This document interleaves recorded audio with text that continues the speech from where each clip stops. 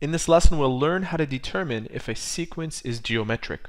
A sequence is considered geometric if the ratio between each consecutive term is common. Take, for example, the sequence of numbers found in this group. It goes from 2, 4, 6, 8, 10.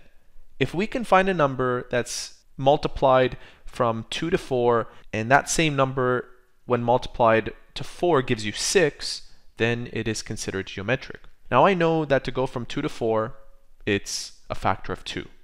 In other words, 4 divided by 2 gives us 2. If I multiply 4 by 2 and I get 6, then this could be considered a geometric sequence. Multiplying 4 times 2 gives me 8 and not 6. And another way to show you is if I take 6 divided by 4, I get 3 over 2.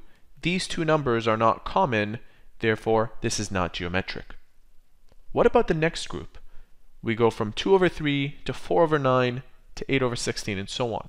Well, as you can see from 2 to 4, you can multiply 2 by 2 and you end up with 4. And multiplying 3 by 3 gives you 9. So there's a possibility that the common ratio here is 2 over 3. Let's see if that works for 4 over 9. Multiplying 4 by 2 does give me 8, and 9 times 3 gives me 27. Let's try once more for good measure.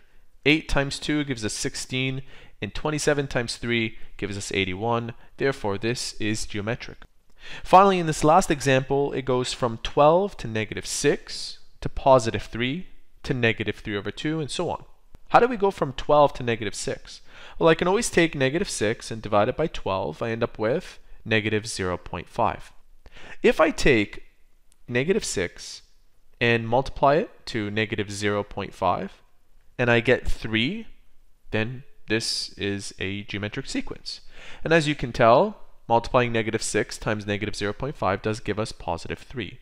Another way to look at it is if I take 3 divided by negative 6, I get, again, negative 0.5. That's a common constant that is used throughout each term.